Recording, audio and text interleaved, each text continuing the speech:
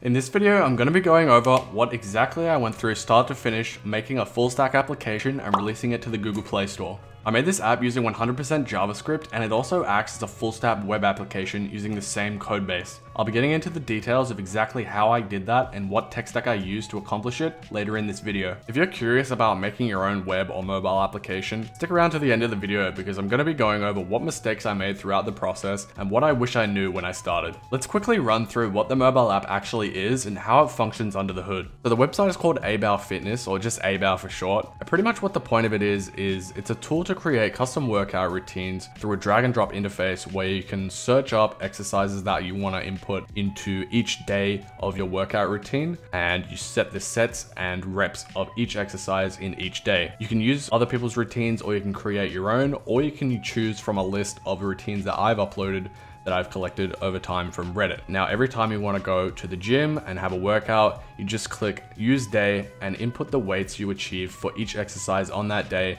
and then all of those weights are saved to your profile over time. The reasoning behind creating this was not only just because I wanted a project to work on, but it's also because it's an alternative to using Google Sheets or just the Notes app on your phone which is what I personally am doing currently and what I know a lot of my friends are doing as well. Something that I'm really proud of in this project was my ability to use the same code base for my website as well as my mobile application. This meant I was able to use the frameworks that I'm comfortable with like Next.js and write 100% of my code directed towards the web in React and then wrap that all up in an APK and submit it to the Google Play Store. These are all the tools that I use to build out both the website and the mobile application with the same code base. If you're not familiar with some of these icons or what they are, then don't worry, we're going to be going through it really quickly here and explaining what's going under the hood, how exactly this application works. The core of this application is AWS Amplify.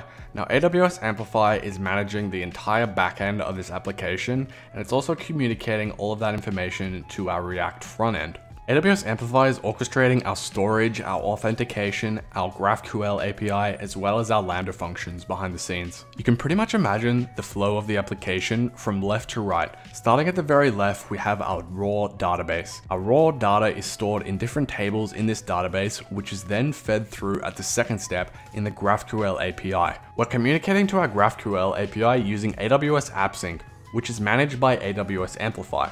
All of the tools in that third row I created using the Amplify CLI, which is pretty much just a central hub for all of my AWS services that I'm using, and I can update or create new resources as I need them through the AWS Amplify CLI. Amplify is hooked up and configured in our front end so that we can communicate to all of these resources through a bunch of different libraries that AWS offers. In the front end, I'm writing in TypeScript, using React, and also using Next.js on top of React to use things like server-side rendering. Up until this point, all of this infrastructure was just to support the website that I made. At this point in time, I wanted to create a mobile application, which is why I turned the website into a PWA, which stands for Progressive Web App. Progressive Web Apps are downloadable from Chrome on Android devices, but you can't list Progressive Web Apps on the Google Play Store. This is where I use a library called Bubble Wrap, which is a recent creation from the Google Chrome team where you can wrap your Progressive Web Apps into an APK, which is deployable to the Google Play Store.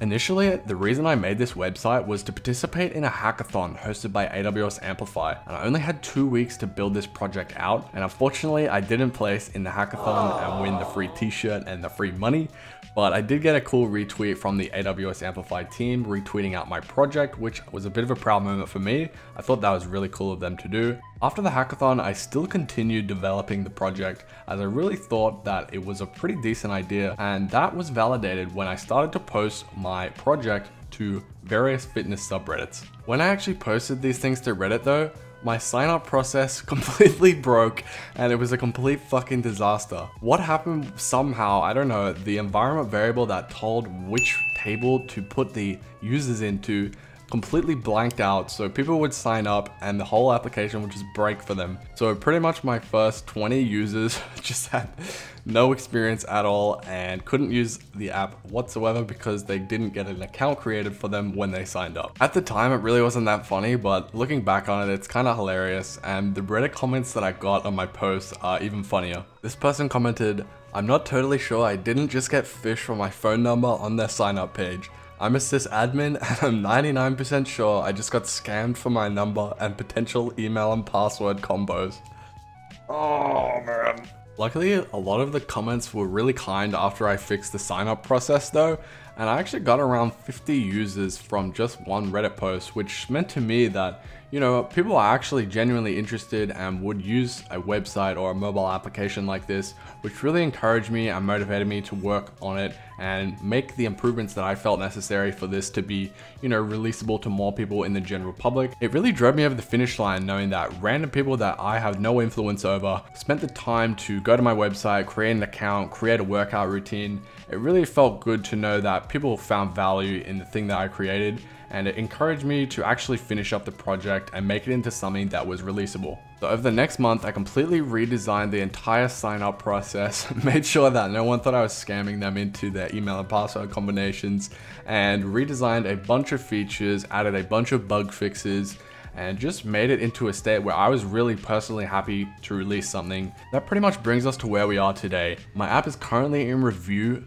for the Google Play Store and it's been in review for about one or two weeks. But what I'm gonna be going through now is what regrets that I have when I was making this app and what I would have done differently had I restarted it today. The number one thing that I would have done differently if I restarted a project like this today is I would have spent so much more time designing the screens and designing the UX of what the application was going to be before I started coding. I don't think the overall UX of the application is too bad. I just really don't like the overall design. I think it looks really dry with the white on white or the gray on white or the gray on gray.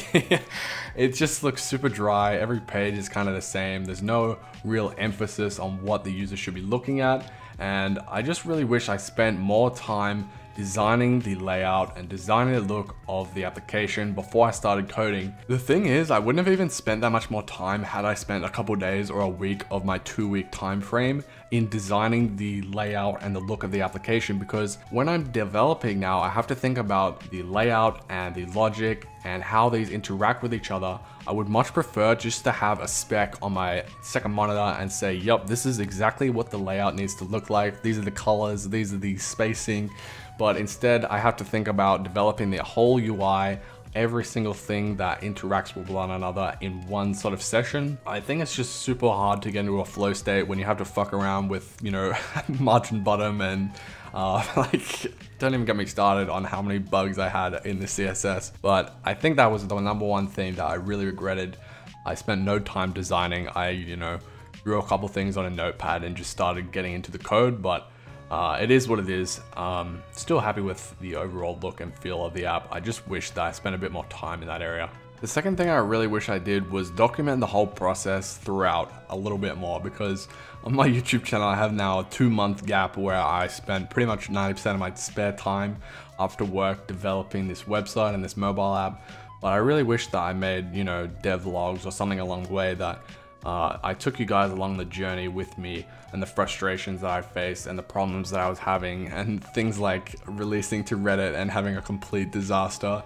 I think it would have been much better if that was a series rather than just a reflection kind of video. Before we wrap this video up, if you guys enjoyed the video, I would love if you hit the like button and if you want to see more content like this, Please remember to hit the subscribe button as well because I'm going to be coming out with even more programming content like this over the next couple months. Thank you so much for watching though. If you got this far in the video, I really do appreciate it and I hope you have a great rest of your day.